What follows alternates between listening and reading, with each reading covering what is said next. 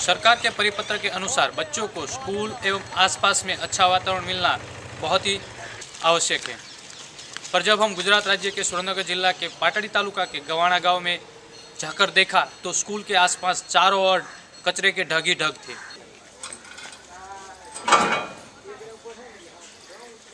इस ढग के बारे में हमने स्कूल के प्रिंसिपल से बात की तो उन्होंने बताया कि हमने सरपंच से कई बार इस कचरे के ढग को हटाने के लिए मांग की है पर आज तक कुछ नहीं हुआ એટલે હું ત્રણેક મહિનાથી આ સ્કૂલમાં આવી છું ત્યારથી જોઉં છું કે બ- ગામના જે લોકો છે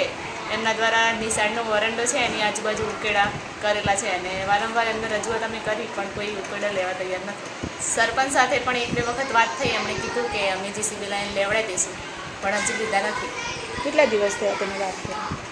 વાત કરે મહિના જેવો મહિના દોઢ મહિના જેવું થયું. ચોમાસામાં કાદવ કિચડ અને આ છાણના લીધે એટલું બધી તકલીફ થાય છોકરાઓ ચાલી નહીં શકતા. પણ આરોગ્ય ઉપર કઈ તકલીફ થાય છે તો છોકરાઓ હા બીમાર પડે છે ને ભૂમડા તે બધું થાય છે. તો એની નિશાળામાં આવવાની સંખ્યામાં કઈ અસર થાય છે? હા ભૂમડા અને આ વારંવાર છોકરાઓ બીમાર પડે એટલે બીમારીને કારણે છોકરાઓ આવી નહીં શકતા નિશાળે ગેરહાજરી દે છે और बच्चों ने उसके बाद सरपंच को एक आवेदन पत्र अ, लिखा और वो आवेदन पत्र सरपंच को सुप्रत किया तो उसमें बच्चों ने इस कचरे के ढग को हटाने के लिए एक डेडलाइन भी मांगा और वो डेडलाइन के मुताबिक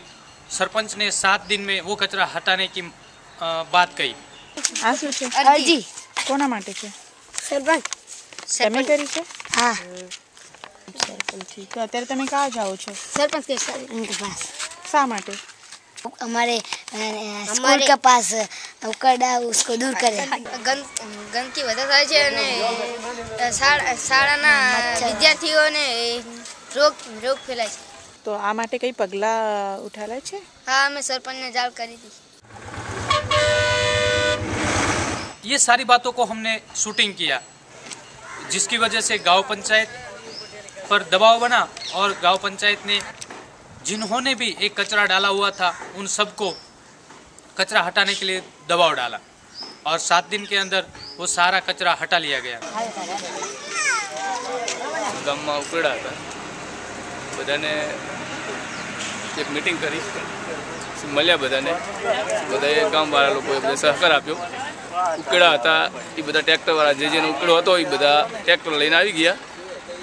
અને જે જેના ઉકડા હતા એ બધા હો હુના ટ્રેક્ટરથી ભરાઈ દીધા. આ કચરો અને ઉકળા જે હતા એના બાબતે સ્કૂલના બાળકોએ તમને જાણ કરેલી? હા